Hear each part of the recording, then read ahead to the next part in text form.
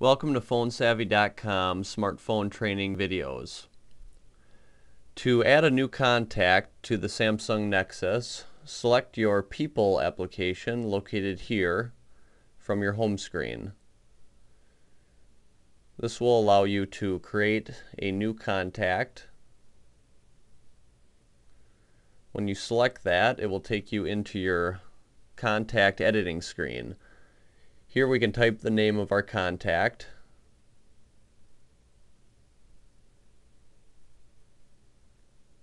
which I'm going to label as John Doe.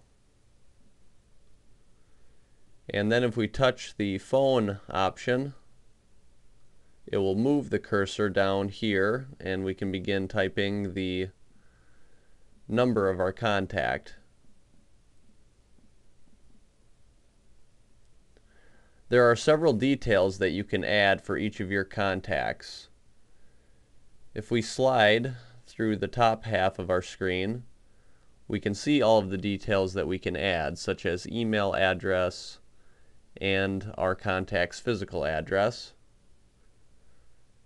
Feel free to be as descriptive with each of your contacts as you'd like. Once you've entered in all that you'd like for your contact, select the Done option in the top left corner of your screen. And that will save this new contact to your contact list. The Home button located here will take you back to your home screen. If you want to learn more about the Samsung Nexus, visit phonesavvy.com.